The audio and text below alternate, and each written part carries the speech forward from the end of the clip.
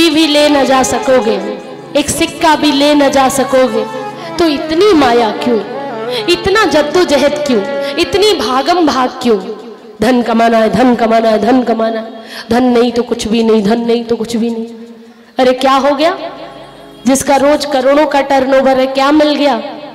कौन से अखबार में नाम छप गया? रोटी सब खाते हैं। कोई बाजरे की, कोई गेहूँ की, कोई चावल की, कोई मक्के की। कोई हीरे मोती की दाल खाता है क्या? सोने की और चांदी की रोटी खाता है क्या? तो जब जिसने जन्म दिया है, जब दांत न थे तब दूध दिया, और अब दांत दिए तो अन्न भी देंगे। तो भोजन तो मिलेगा, इसलिए ज़्यादा भागना नहीं। जागते हुए, सजग रहते हुए कर्म करना, कर्म प्रधान विश्व रच राखा। जो जस करे सो तस फल चाखा। तो कुछ शुभ कर्म भी हो जाए। इस जीवन में ये शुभ कर्मों के बिना किसी का हुआ नहीं निस्तारा।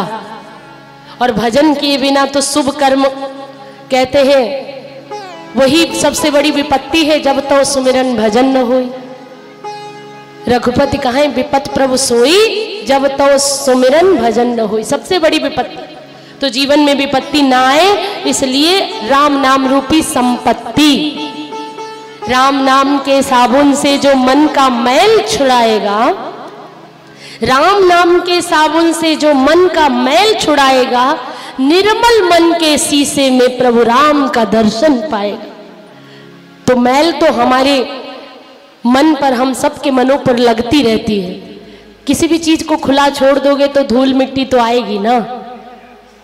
तो मन की खिड़कियाँ तो खुली हैं, पर उसमें संसार का प्रवेश हो जाता है।